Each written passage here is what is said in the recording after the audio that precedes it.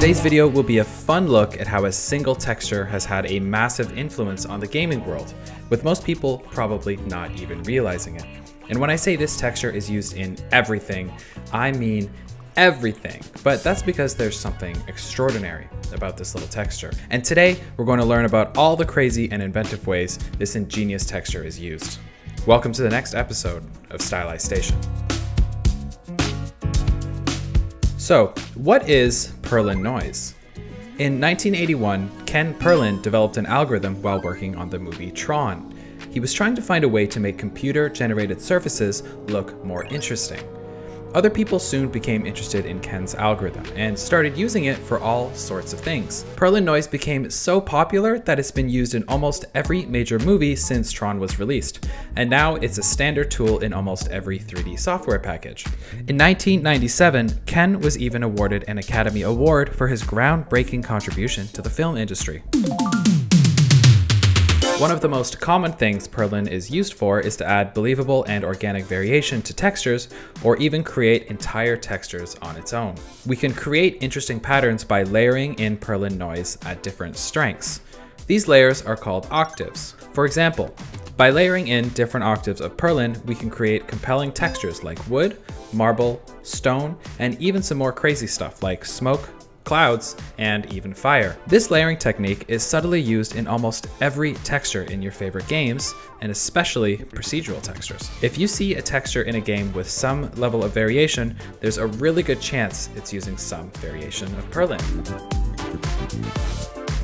Perlin noise is a great way to make terrain in video games look more natural and realistic. One way it can be used is by creating what we call a height map. A height map is a black and white image that tells the game engine how high or how low certain terrain parts should be.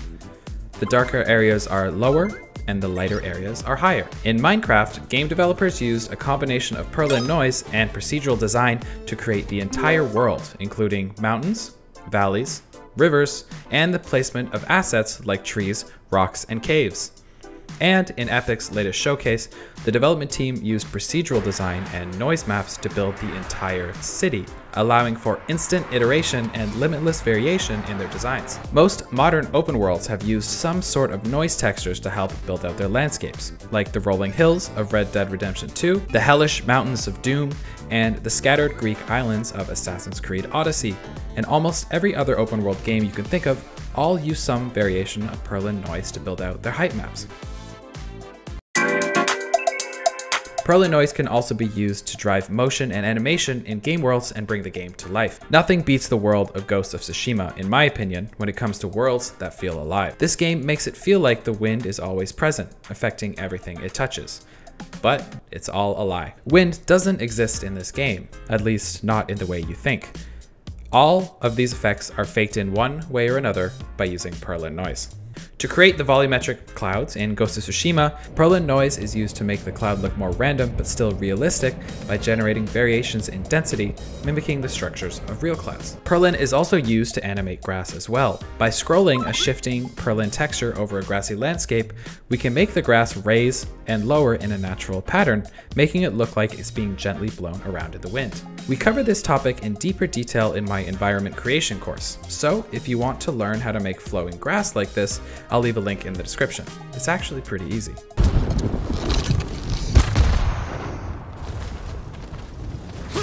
Perlin noise can be used to add another layer of complexity to your VFX. Adding a scrolling noise texture to your flames can make the fire shimmer and distort as real flames do, and then you could add a noise particle system to animate the sparks coming off of the flame for some much needed variation. In fact, Perlin noise is so good at generating great looking textures, the algorithm is used all over your favorite VFX you see in games, not just fire. Games use Perlin noise for smoke, rushing water, dust, lightning strikes, laser blasts, and almost anything else you can think of. I'm going to be doing more deep dives on lots of this amazing VFX this year, so I'd love to explain some of this in more detail later.